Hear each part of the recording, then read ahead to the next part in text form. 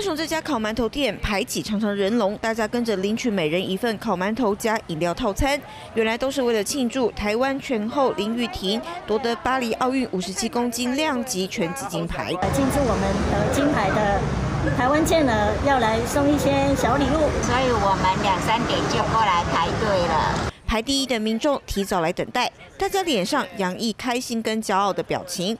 爱台牙医史淑华脸书公告祭品文，本来要送九百份，最后也加码到一四五零份。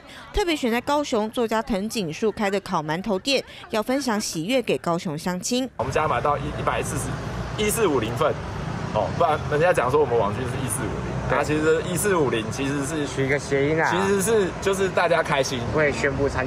那个参选到市长的，完全没有想过，我可以在这边很负责任跟各位报告，完全没有想过。民进党立委黄杰作为神秘嘉宾来到现场，跟大家一起同乐。被问到会不会投入高雄市长选举，也立刻秒回，完全没想过。要做出一四五零份馒头套餐，可预见来的人会很多。申请路权外，店家还用推车加粉笔在地上画出等待线，特别设计号码牌贴纸，上面加注金牌。果然来领取的民众真的很多，大家吃得满意，笑得开心，都为台湾全后感到骄傲。三选徐信福先高雄报道。